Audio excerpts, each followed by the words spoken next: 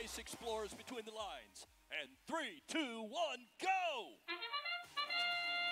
Rovers onto the field. Sandstorm Brewing. Operators blind.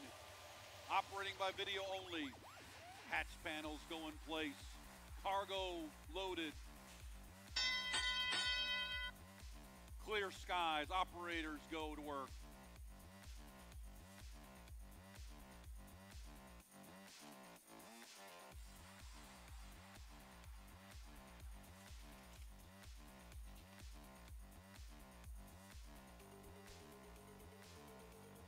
Attempting to get the hatch panel onto the Red Alliance.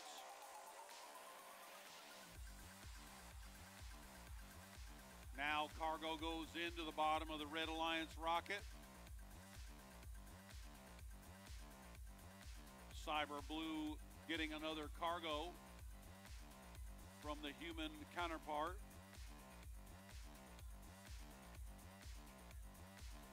Into the ship it goes.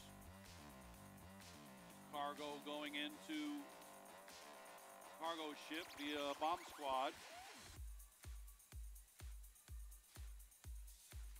Cyber Blue counters. Quickly filling up their cargo ship on the Red Alliance. Blue, Blue Alliance right behind them.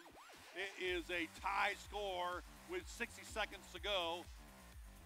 Now the blue takes, now it's even 48 48, 48 50. Can the Blue Alliance topple the number one ranked team?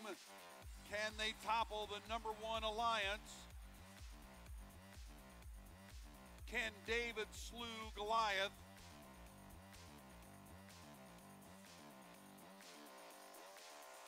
Hatch panels go on red.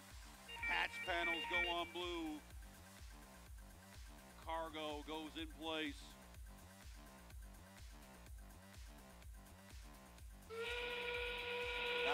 That's the 20 second mark.